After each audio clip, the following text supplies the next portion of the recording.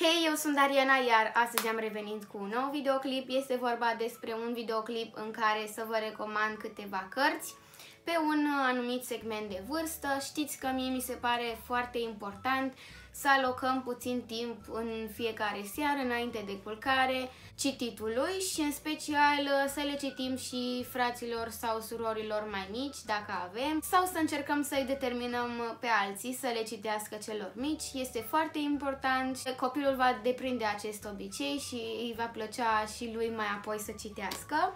Sunt câteva cărți care mie îmi plac foarte mult, pe care le-am citit și eu și cred că sunt potrivite și pentru un adult, pentru că sunt foarte drăguțe, însă uh, sunt și mai apreciate, zic eu, de copilașii mai mici. Și acum, haideți să începem. Am pregătit uh, câteva cărți potrivite și pentru copiii micuți-micuți, dar și pentru cei care sunt deja la școală sau așa mai departe.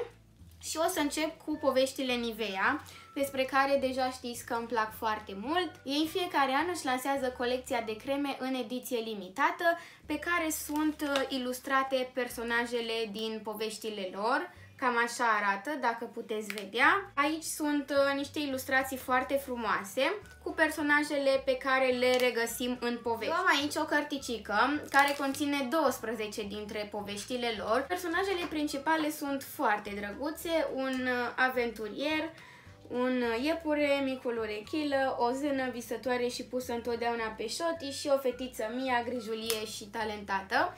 Uh, sunt niște personaje foarte drăguțe și întâmplările lor. Uh, cartea este foarte frumos ilustrată. Acesta este un uh, detaliu care zic eu că face diferența la o carte, în special atunci când eu citești unui copilaj mai mic, el își dorește să vadă așa și o fotografie cu ce se întâmplă de fapt. Le citeam eu lui Dariusică, frățiorului meu mai mic, atunci pe la început, întotdeauna am întrebat, da, ăsta e personajul ăla, da, ăsta e uh, din carte, da, da.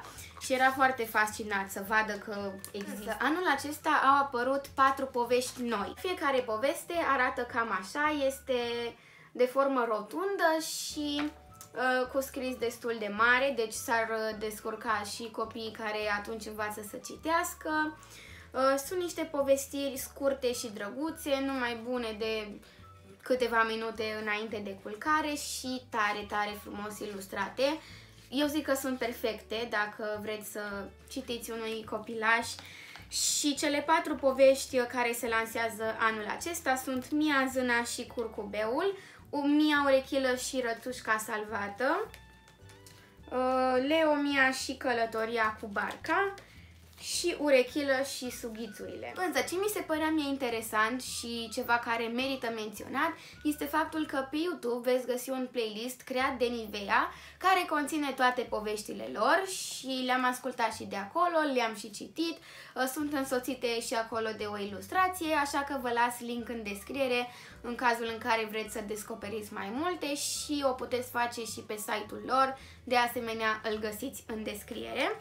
Și cam acestea ar fi poveștile, sunt tare drăguțe pentru început. Ar mai fi trei cărți, din nou uh, foarte frumoase, pe care le recomand eu uh, să le citiți uh, unor copii mai mici. Prima este Țup, imposibil e doar un cuvânt, de Alex Donovici, este scrisă de un autor român și cartea aceasta este frumoasă pentru că are o lecție, o morală pe care o veți descoperi voi. Din nou, este frumos ilustrată, însă de data aceasta este o poveste puțin mai uh, lungă, pe care să o citiți unui uh, copilaș mai mare sau să și-o citească singur. Ar fi perfectă. Tot pe aceeași idee merge Erus și Valea Generozității frumos ilustrată de asemenea. V-am zis cât de mult uh, contează pentru un copil să fie cartea ilustrată. Cred că e mai mult decât super când văd ei așa, să zicem, în magazine, o cărticică cu poze. Vorba despre o nouă călătorie cu peripeții a lui Eros, pe care să o descoperiți și voi. Eu m-am distrat citind-o, încă nu i-am citit-o frățiorului meu și uh, încă nu știe despre ce e vorba, însă mie mi-a plăcut și mi-au plăcut foarte mult și ilustrațiile. Cam așa arată. Și aceste cărți uh, pe care vi le-am prezentat până acum sunt de la editura Curtea Vechi. fi și Iacării Acrobați, povestea unui vis, care mi-a plăcut cel mai mult dintre acestea trei, pentru că este o poveste pe care pe mine m-a marcat, povestea adevărată a trei piloți acrobați uh, și cum au uh, ajuns ei din medii diferite să fie niște acrobați. Și spune aici că visul lor s-a împlinit pentru că s-au încăpățânat să nu renunțe și au acceptat că transformarea dorinței în realitate presupune efort și disciplină. Ei au avut curajul de a crede că zburând vor fi la fel de fericiți ca păsările cerului. Foarte frumoasă de altfel, uh, din nou, pentru copii ceva mai mărișori. Acestea ar fi cele mai frumoase și uh, niște cadouri de Crăciun pe măsură. Pentru niște copii ceva mai mici, eu zic că preferatele lor ar fi poveștile Nivea. Însă nu numai, eu cred că sunt potrivite și pentru adolescenți și pentru adulți. Cărțile de copii sunt foarte frumoase, așa ceva magic înăuntru lor. Eu zic că sunt mai speciale și mai frumoase, mai ales că sunt însoțite de tot felul de desene. Acestea sunt recomandările mele de astăzi. V-am zis o să găsiți în descriere link Uh, de unde puteți asculta poveștile Nivea și de unde puteți descoperi mai multe despre ele.